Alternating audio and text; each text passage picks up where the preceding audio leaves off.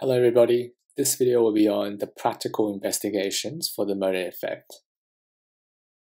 The magnitude and direction of the electromagnetic force between a current-carrying conductor and an external magnetic field can be determined using an electronic balance. The experiment is simple. We can place a current-carrying conductor or wire within an external magnetic field. By putting this conductor onto a electronic balance, we can use a balance reading to determine the forces that is exerted upon the current carrying conductor.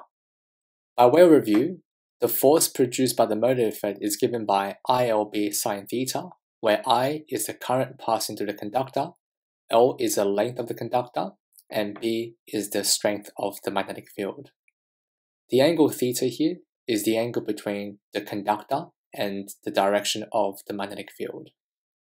If the force caused by the magnetic field is acting downwards, the mass reading as displaced by the electronic balance will increase. The force provided by the magnetic field is going upwards, the mass reading as displayed by the balance will decrease instead. The direction of the magnetic force depends on the relative directions of the current flowing through the conductor as well as the direction of the magnetic field. Specifically, the direction of the force can be determined by using the right-hand palm rule, where the thumb points in the direction of the conventional current, the four fingers are in the direction of the magnetic field, and the palm will be facing the direction of the magnetic force. So, in simpler words, by using the electronic balance, not only can we determine the direction of the force due to the motor effect, we can also use the change in mass reading to calculate the magnitude of the produced force. The extent to which the reading on the balance changes by depends on the magnitude of the force. We can analyze the relationship between force and the other variables by using the motor effect equation. By looking at the equation and focus on the variable I or current, we know that the force increases as the current size increases. And if the force increases, the extent to which the mass reading changes by will also increase.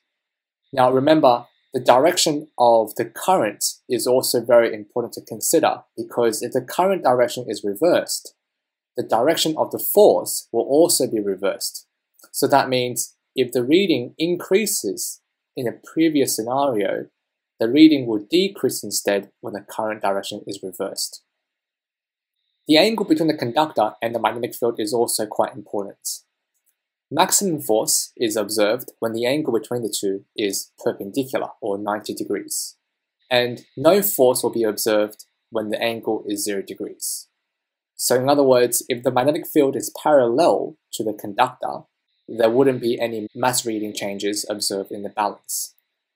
Furthermore, the L or length in the equation suggests that only the portion of the conductor that's within the external magnetic field is affected by the force due to the motor effect. So this means the balance reading will change more if the size or the strength of the magnetic field B increases. If the dimension of this field becomes larger, it will affect a greater portion of the conductor. If the magnetic field becomes stronger, the same thing will also occur. The relationship between the mass changes and the current passing through the conductor can be graphed as shown. We can use the graph as well as the motor effect equation to calculate various variables that's involved in the motor effect. In this graph, my y-axis is mass and my x-axis is the independent variable, which is the current that's passing through the conductor, which is resting on the balance. Now we know that the magnetic force is being measured as a weight force which is exerted upon the balance. So we can replace the force by mg, where m is the mass reading as provided by the balance, and g is the acceleration due to gravity. We can rearrange this equation to make mass over current the subject, which is also the gradient of this straight line. And the gradient here is equal to L times by B times by sine theta divided by G. Normally, if the experiment is conducted with the correct control variables, the relationship between mass and the current should be a directly proportional one, which means you will always observe a linear relationship. And this is because the four variables, length, the magnetic field strength, the acceleration due to gravity, and the angle between the conductor and the magnetic field are constant values. We can also use this expression to calculate any of the four variables by using the gradients shown by the graph. A very similar method using the electronic balance can be used to investigate the force between a pair of parallel current carrying conductors. The top conductor is fixed, while the bottom conductor is resting on an electronic balance and is free to move. The balance reading will change depending on the magnitude and direction of the force between the two straight conductors. If the current passing through the two conductors are flowing in the opposite direction, then there will be a repulsive force created between them. And since the top conductor is fixed, this will cause the bottom conductor to experience a downward force. And that force will be also applied onto the balance, causing the reading on the balance to increase. If the current flowing through the two conductors are in the same direction, then the electromagnetic force between the two conductors will be an attractive one. So the bottom conductor will experience an upward force towards the top fixed conductor. And this will result in a decreased mass reading as displayed by the balance. We usually investigate the force between the two conductors by making the current in the top conductor constant and the bottom conductor having a variable current.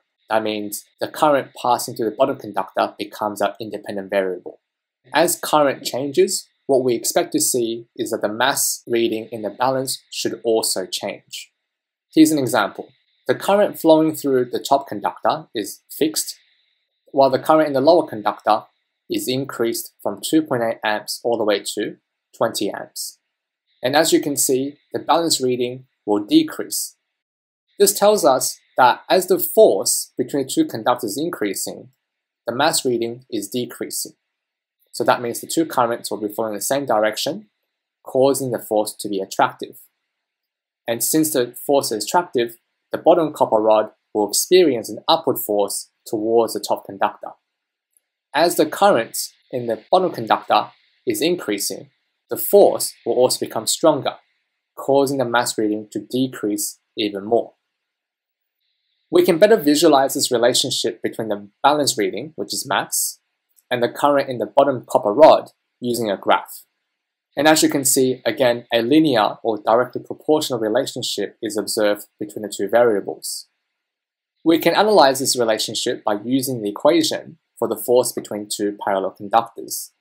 We can rearrange the equation to make mass over current as a subject, which is also the gradient of my straight line.